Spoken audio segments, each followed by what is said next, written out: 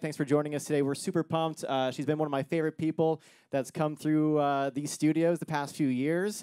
Give it up for Tove Lo.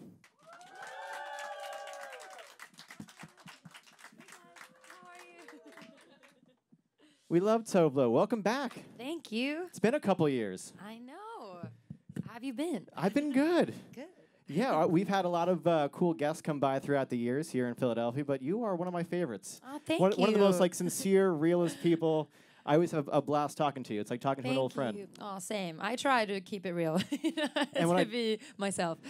I always kick off all of my interviews by drinking out of my Tove Lo flask. oh, Pretty yeah. good. Yeah, I always I always kick off. Doesn't matter who I'm talking to. Like you're talking to Big Sean. I don't know. I'm, I'm drinking my Tove Lo flask. You're like, this is what you should be giving. Mm. Relax, guys. It's it's only vodka. It's okay. it's only vodka. Nice. Uh, you actually sent out like a whole Tove Lo breakup kit. It was pretty I cool. did. What was it? There's like a, a notebook, uh, obviously the flask. There's um, the flask. There's a notebook when you can, you know, write about, write down things about your ex or you know, bad about them or something.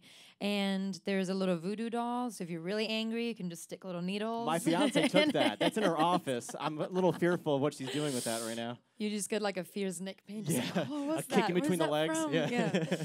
Um, and um, yeah, a little card, like a greeting card with some, uh, you know, inspirational words and it the song adorable. playing. Yeah, It was awesome.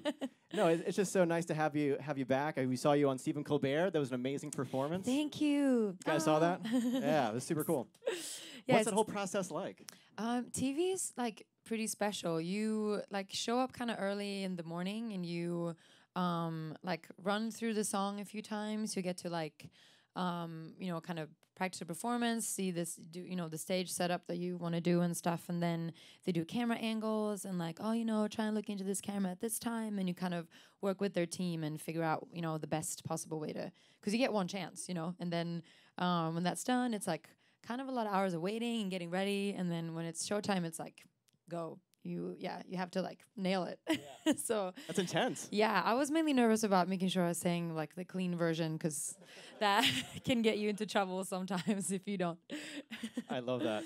Now, when you're away and you're you're writing and you're putting together your next piece of work and, and you're kind of noticing who's out there on the radio currently, who are your favorites? Uh, who have you been going to lately? I guess for inspiration. I know that you like Billie Eilish, right? That's yeah, yeah, she's like. so cool. Yeah, I've been to a few of her shows, and I just think she's um, it's been really cool to witness because it's like such a like devotion and kind of like um, you know, she really speaks to a generation and like fans that they just like they just click in a way, and I think um, just her and her brother has a, they just have a very beautiful way with words. Um, She's yeah. I know. I that's, mean, that's stupid. I don't. Like, I wish? I was that cool at seventeen. That's ridiculous. That's I can't I can't even imagine that. I think I was I was uh, scooping ice cream up at Friendly's when I was 17, and and she's I was working at a bakery. Were you really? yeah. That's amazing, and she's like the biggest thing in the world. It's nuts. Now, are you are you friends with her? Um, I mean, I don't know her that well. I've met her a Gotcha. few times, but she's super sweet to me when I meet her. Because yeah. I'm like, hi, For sure. I'm your biggest fan. Just just standing her. Yeah, just standing there staring. No, no, but she's super nice. yeah. Is there other other influences like when you, when you sit down and, and you're like, okay, what do I want to say in this album? You know, are there other uh, pieces that you pull? I feel like um I mean I pulled so much from my life that I think it's very subconsciously if there's like, you know, any kind of you know, vibe that trickles in, but I'm a huge Robyn fan. I just went and saw her show um in New York and it was fantastic. It was just like a big dance party. It was so beautiful and she's always been a big inspiration. Um and yeah, I think just like all the women around me really inspire me a lot. I love the way you write because I feel like every song I hear from you, you really illustrate everything. Like you, you put me in the moment. Is that oh, thank you. is that done like on purpose? Like you really want to illustrate it? Like I Yeah, really, I I, really see the details in your writing. I, I love that. I love that. Um, thank you.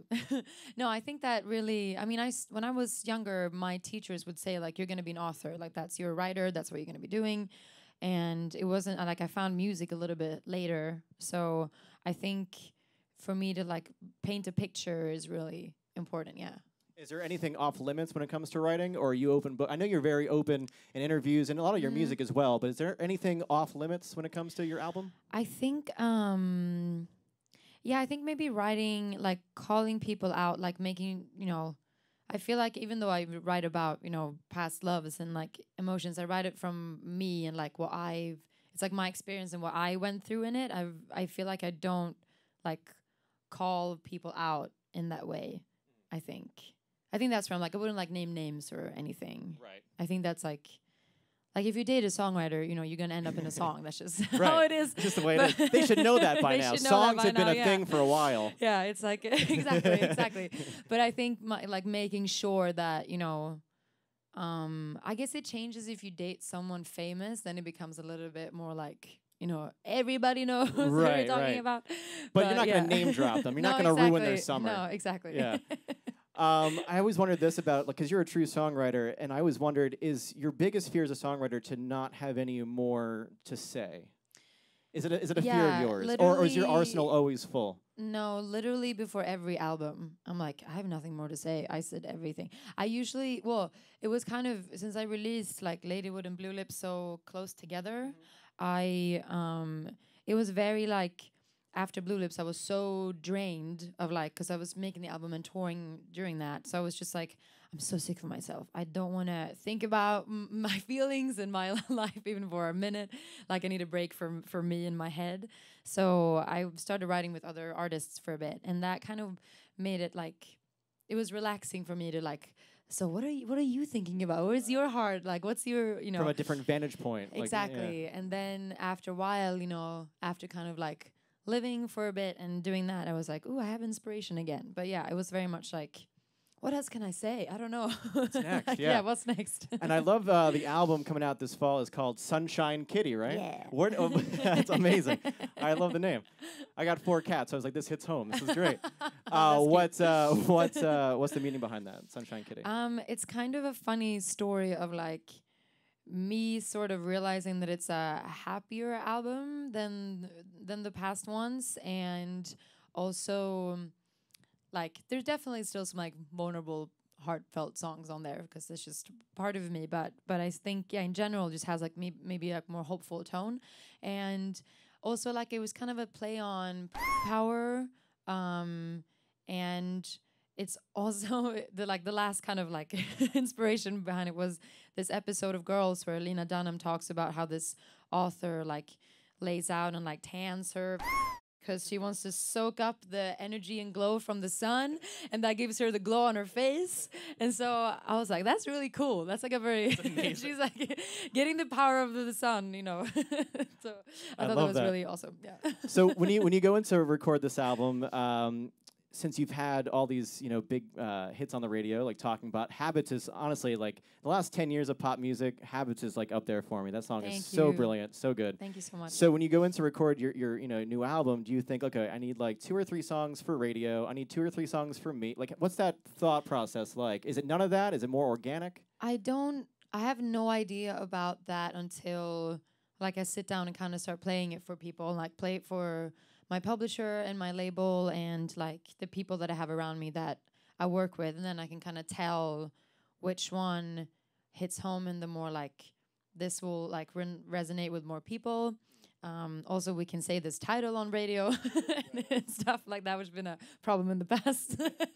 and uh, you know, like kind of a, a song that is like will be more available. And then there's like, uh, but I usually, yeah, I don't really know. I can't really tell that stuff. I just kind of, you, just, know, you just write the you just Yeah, write I the just music. write. I and just you guys write, can yeah. do whatever you know what you want with it. yeah, it. I'm kind of like, which one do you want to go with first? Like, I can have like a feeling of like I would want to start with this one, but then when it comes to like you know taking it to radio and kind of you know um making it the single, then then yeah, then I'm like I don't know. it's, It's up to you. I don't up know. Up to you guys. Yeah. And uh, Glad He's Gone is the first single. We loving it. That song is so good. Yay! Thank you. so much fun. Thank you. Uh, congrats on it, and tell me you. how that specific song came about. It's it's definitely really fun. Like I laughed out loud when I first heard the, the hook. I, it's really really great. it is. There had to be some uh, some versions of that one too, obviously. uh, but but no, I I was writing with um uh, some of my Swedes from from my um, songwriting collective that I'm signed to, and we we were in Sweden. There was like a really dark, snowy January day, and I know um, Johan, one of the producers, had uh, one of the writers had sent me like the guitar riff like over Christmas, and I was like, "This sounds really cool. Like I like this," and kind of new for me and stuff. And and then when we're in the studio, we, I was just kind of you know riffing on melodies and doing the na na na na na na na. You know, sorry, I'm a little tired of my voice. Uh, and uh, and he he was like, "Oh, that's really cool. That's really cool." And then I just kind of started like words just started with like he's done and then he's gone and then like oh it feels like you know it feels kind of like a breakup song but i'm like i'm not going through that right now so i'm kind of in but you know and it just kind of i'd been to sweden so i'd seen a lot of the girlfriends that i grew up with like the girl like crew that i used to hang out with and so they were like on my mind and i was like "Ah, all the times that we would give each other that speech when someone was dating a fuckboy or just some idiot. And just the, the, all the times i've been given that speech and the times i've given it to just like you know get each other out of a shitty situation. And so yeah that's just kind of clicked the inspiration and then kind of describing those like situations It's, Yeah. it's, a, it's an anthem. It's like a powerful anthem, yeah. but it's also really, really funny. It's great. yeah. And you're gonna perform that one for us, right? And a few Yeah, I others. am. Yeah, it's Yeah. amazing. Tove Lo. This is so cool. Thank you. Thank you so much. I'm gonna uh, take my flask. Enjoy your